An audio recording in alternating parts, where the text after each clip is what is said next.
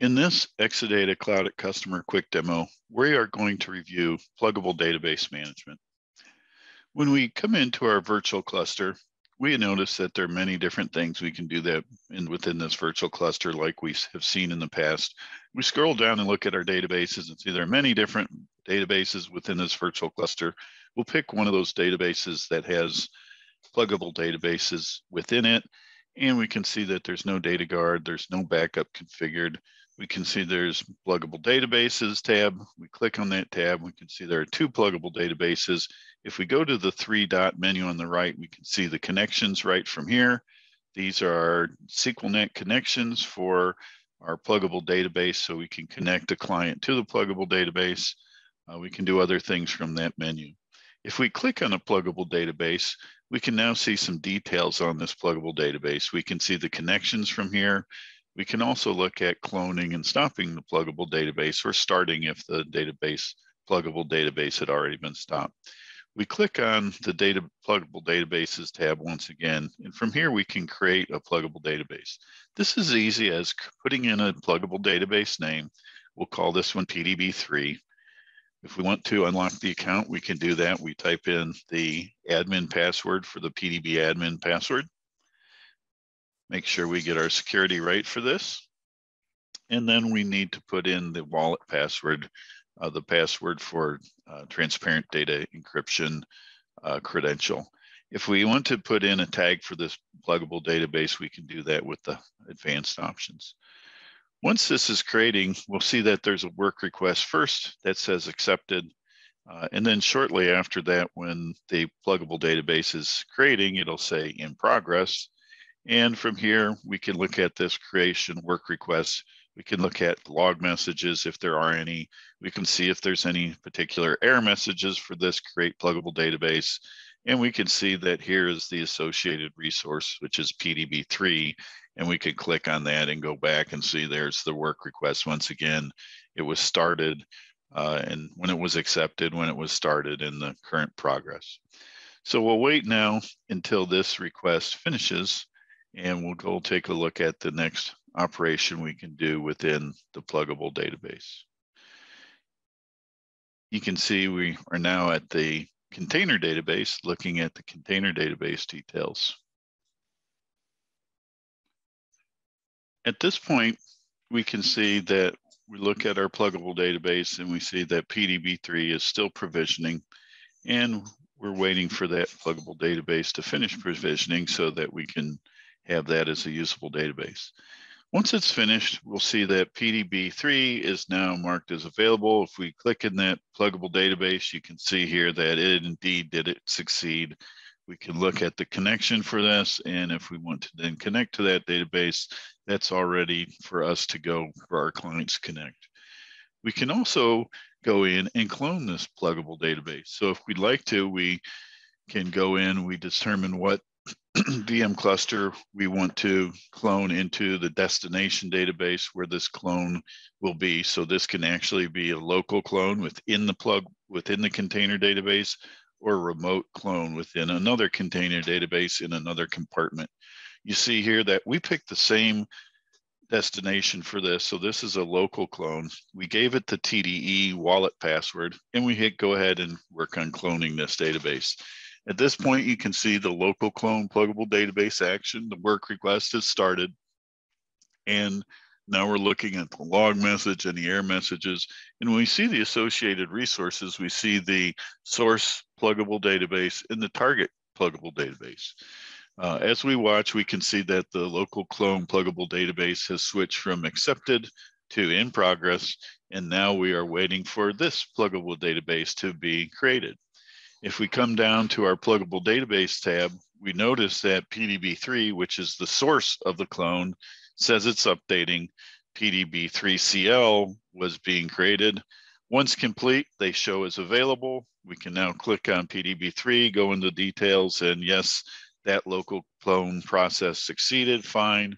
We go into our work request for this, which is where we are. We can uh, click into the detail on that work request and when we go into this, we see that the creating of the local pluggable database was complete and created.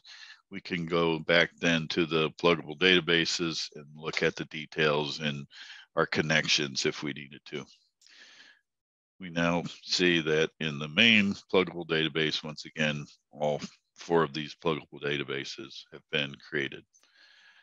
The next thing we'd like to do is create a remote pluggable database. So let's go ahead and clone PDB1 to a new environment.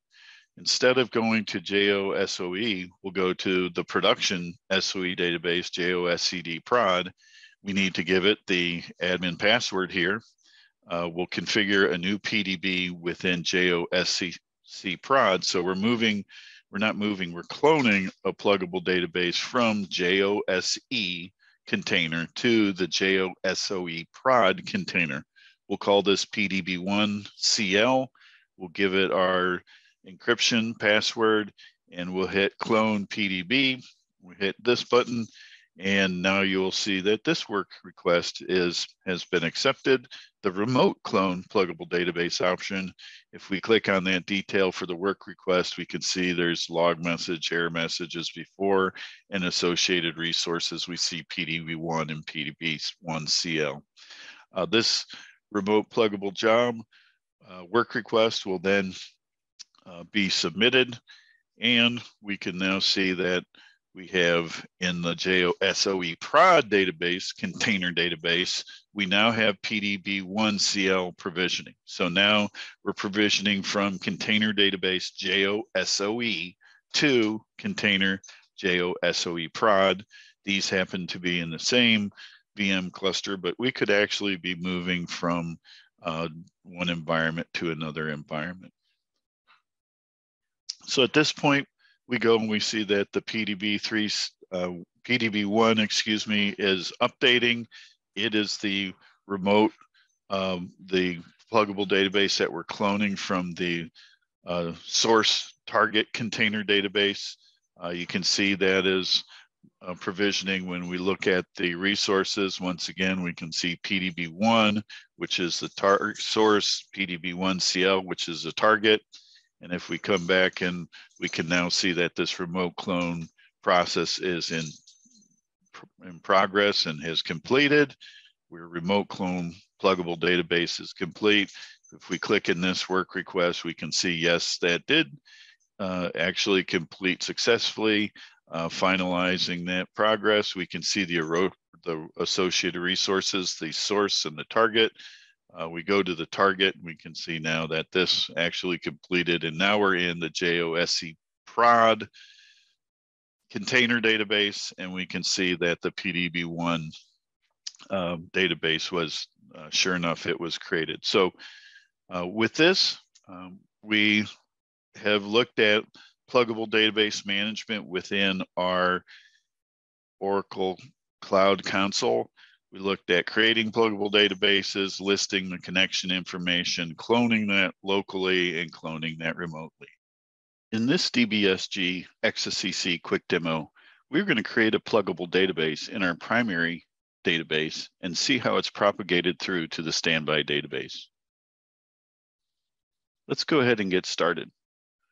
First, we're looking at two different virtual clusters, ECC 9 Cluster 5 and ECC9 Cluster 8. Cluster 5 has our primary database. If you look here, there's a lot of databases out here. We'll go into one of the databases that we're using that has a data guard association. You can see here's the primary database name. You can see that it has data guard enabled and it's in the primary role with this particular database. You can also see that we have three pluggable databases available already created in this database. If we look at the data guard associations, you can see there's JODB. It has its peer database uh, in another cluster we mentioned earlier, the cluster eight. There you can see the unique name and this data guard is enabled and it is the standby. In the standby database, you will be able to notice that it also has the data guard association that points back to the primary database we click on that and we're back at the primary database. Let's go ahead and create a pluggable database. First, let's, before we do that, let's just look at our hosts and see our host for the primary database. We see the host one, JODB is the one is the instance. Uh, we go to the standby and you can see it's uh, on a different cluster and it's uh, standby database. Within the primary database, you can see the three pluggable databases. Within the standby database, we have three pluggables. Going back to our console, we'll create our pluggable database, give it a name, JOPDB4. We'll type in the wallet password. And when we hit create database, create pluggable database, we'll start building the pluggable database in the primary instance. Uh, you can see here that we have the create pluggable database. It's in progress. We look, the log messages haven't quite popped up yet. We look at the actual pluggable database. You can see now it's uh, within this database, it's creating a pluggable database. Click on the pluggable databases resource and we can see that the JODB4 is actually provisioning. We'll see in the log messages now it's creating in the primary database we go out to our view in the host and we can see that we're in the same instance and we look at the PDBs. We already have the PDB uh, uh, open mode read write here as it's creating. Uh, now we go to PDBs on the standby and you can see PDB 4 is mounted at this point. So uh, it's in the creation process. It'll take a little bit to actually create that. And once we go and look at our PDB resource itself, you can see that it is being created and it's in being created in primary database as well as the standby database at this point. Uh, so now we know that we're well on our way to having a, a primary and a standby copy of this particular pluggable within this container. Uh, looking at the data guard associations, we can see that uh, we have our primary database. We'll click on its peer. We go into the pluggable database now and you see that. And the standby database, we now have this uh, create database, pluggable database in progress. Uh, and you can see it's part of association with the create pluggable database on the primary. And if we just look back at our actual database itself, you can see once again, this was the standby database. It's up and running as a standby, and this PDB is provisioning in the standby. Once it's done, we'll see that the JOPDB4 is actually mounted in the standby. Uh, it takes a second for the messages to catch up with the actual host. So if we click through this, click back to the primary database, you can see when we go to pluggable databases, it's there it's if you click on create pluggable database, uh, it actually shows you once again the log messages and that it has was finalizing the create pluggable database. It's 100% complete. Uh, you can see this work request is completed. We go back to the pluggable database details. You can see it has succeeded. We go back to the data or pluggable databases detail and we see all four pluggable databases up and running on the primary the last thing we'll do is click on data guard associations and we will go to the peer database, the standby database, and we'll notice that now within this environment that the pluggable databases are all uh, available within the standby database. And once again, active data guard, they're open read only. Uh, this is a great uh, way to create pluggable databases and have them propagated uh, from one environment to another without having to manually instantiate any of the pluggables or uh, do that kind of work. This concludes the quick demonstration of creating a pluggable database with DataGuard enabled.